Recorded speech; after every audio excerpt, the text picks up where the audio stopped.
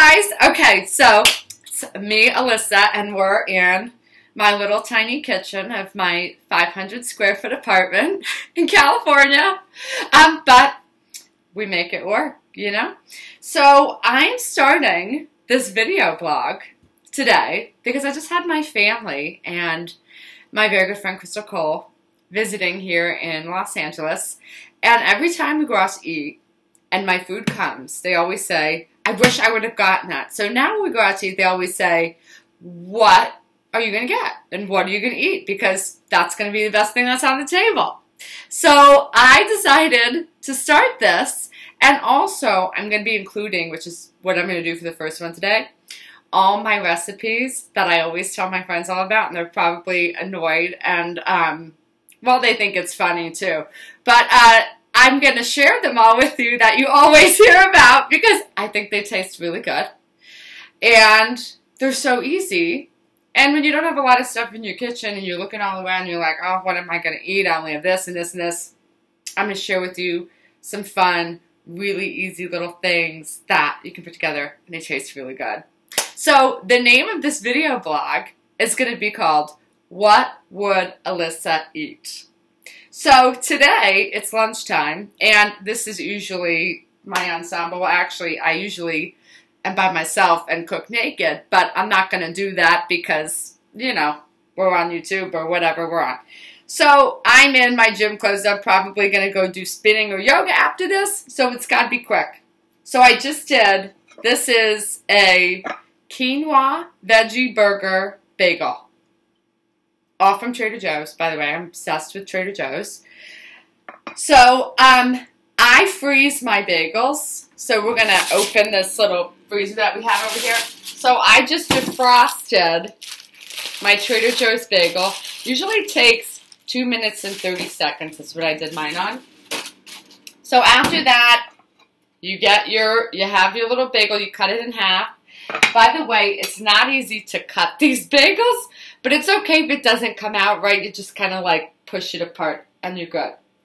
Then you're going to, I always just microwave. You can do it on the, you know, skillet thing, but who has time for that? I don't have time to skillet a thing for seven minutes. So I'm sticking mine in my little microwave over here. You do, these are the best. I think they're like $3.99 or something like that. Put it on a microwavable plate. A minute and 30 seconds. You're going to flip it. I just burnt my fingers off. Um, so I would suggest using like a little flipper, but I always forget about the flipper, so I end up burning my fingers. That's okay. Just run it under cold water and you'll be fine.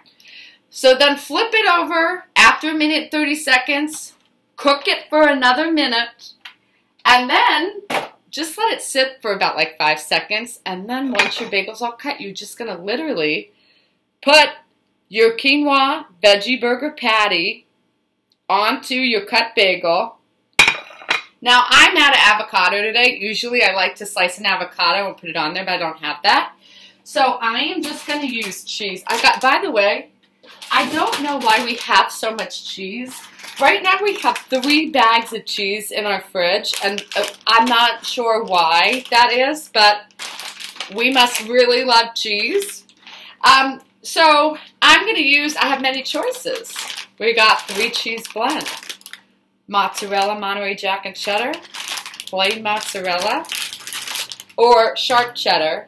I should probably check the expiration dates. I'm like crazy about neurotic when it comes to um, dates on things. I should probably close this. I'm gonna, all this stuff can go bad, and I'm really not gonna eat any of it.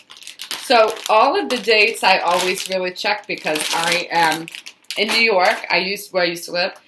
Um, I got food poisoning a bunch of times, so I'm a little paranoid when it comes to dates on food. But I'm going to use this cheddar. It's still good. It's November 2018, so we're going to use this. And what we're going to do is I'm going to hold this up. This is very tricky in this kitchen. Okay, so you just take your cheese, sprinkle it right on top of that veggie patty. So this veggie patty is insane. It's amazing. It's quinoa, black bean, red pepper, and corn. Um, and it's got this little like kick to it. Um, and it's one of my very favorite things. I eat it almost every day. Um, they also have a really good at Trader Joe's, once again, um, Thai chili veggie burger. That one is awesome too, and I'll share that one with you as well. But this is what we're doing today because this is what was in my um, refrigerator and freezer. So then we're just going to put the top of the bagel on. You can see it looks a little messy because they don't cut very well.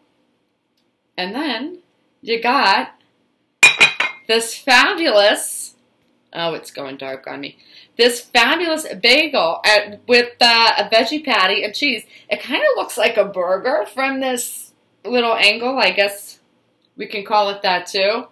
But it's amazing. And now I'm going to go eat my lunch. And tonight, because it's a Saturday night, and I usually never have off work from Saturday, for some reason I do today, um, I'm going to make uh, turkey Moroccan meatballs. They're incredible. I made them before. Hopefully it goes better this time. They came out great, but it's always an adventure making them. It takes a long time. But um, make that, because this was the quick one, and then we're going to do the really delicious one tonight. So I hope you enjoyed What Would Alyssa Eat? and I'll see you around, guys. All right, have a good day.